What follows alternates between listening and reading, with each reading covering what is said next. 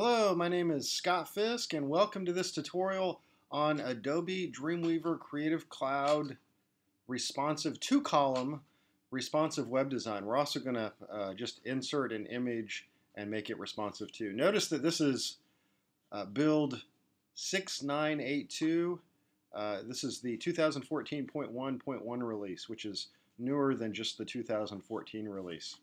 Let's get started. I'm going to go File, Actually, I'm going to just exit out of that, that screen, About screen. I'm going to File New. and right, right here we have some different options. We have Mobile, Tablet, Desktop, and this is under Fluid Grid Layout. We have the capability to uh, control the width of our main container area, our working area. Uh, it's 91%, 93%, 90, 90% for the desktop. the number in the middle are simply the different uh, columns. This is HTML5, which is a good thing. That's the most recent version of HTML. I'm going to hit create. It's asking me what to name the style sheet.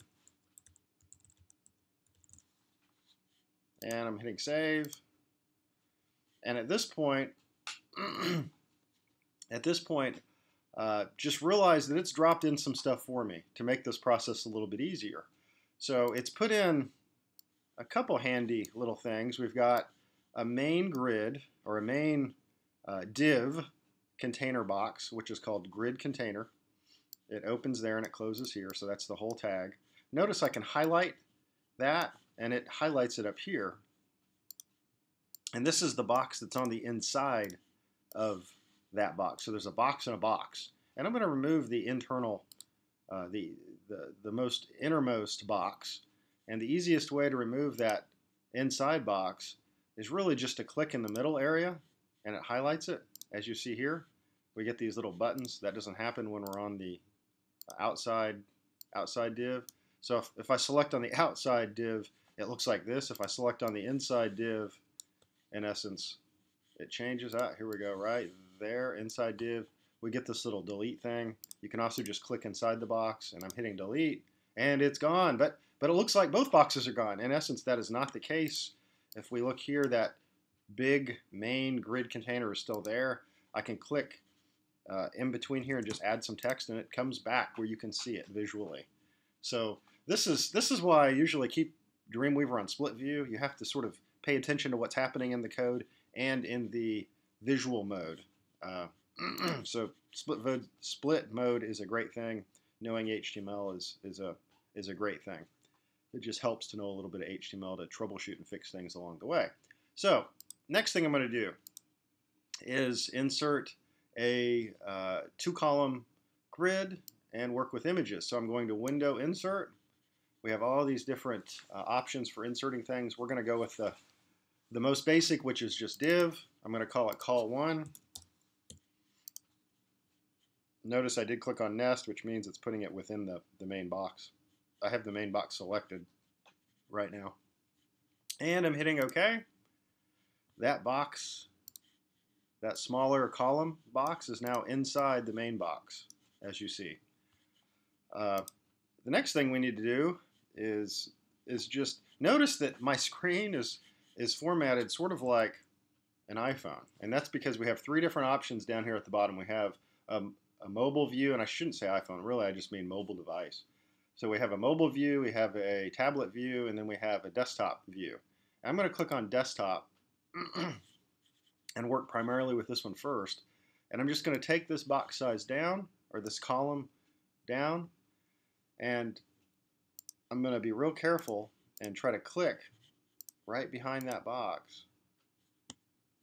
I need to click right behind this this box and really the easiest way to do that is in the code. So here's the box we just added.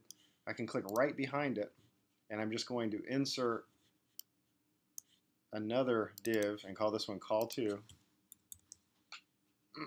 and I'm going to hit OK. And notice it's it's still large you know it went all the way across. I'm going to shrink it down. And at this point we have two columns. They're just on top of each other and of course column means they're side by side. So I'm going to click this this up move up a row button, and there we go. Now we have a two column grid. Note that we're still in the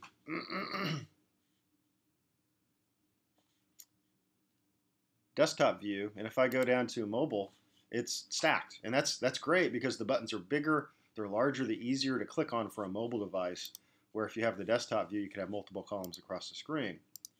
The next thing we're going to do is work on an image. So this, uh, this is how to just simply insert an image and have it automatically scale uh, larger or smaller for uh, mobile, like a mobile device, for example. So what I'm going to do is insert a third div and have it go all the way across the page. So here's my first div. Here's my second div, my second column. And then I'm clicking right behind that. And I'm going to go and insert a, a, third div. And this one I'm just going to call uh, something like main image. Doesn't really matter what you name it as long as you can, it helps you remember what it is. And I'm going to hit OK. And it pushed it down below. It always does that. And at this point, I want to get rid of this text, so I'm just going to highlight it, get rid of it.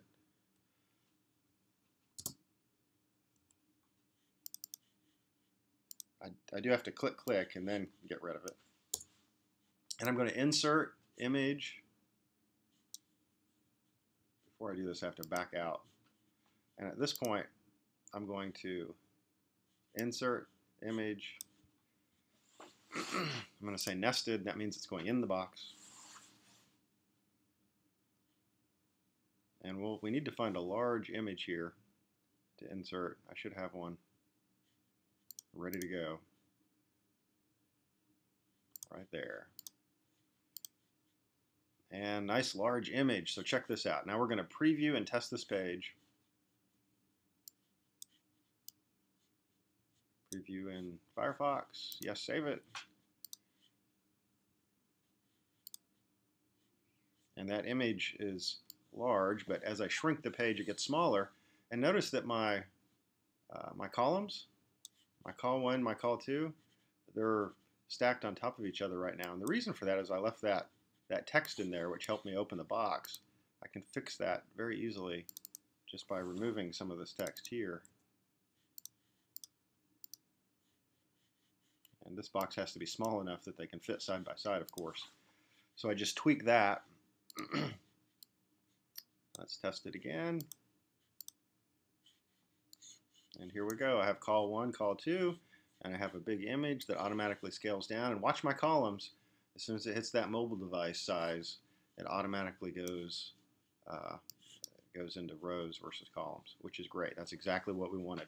So thank you for joining me. I hope this helped. Bye-bye.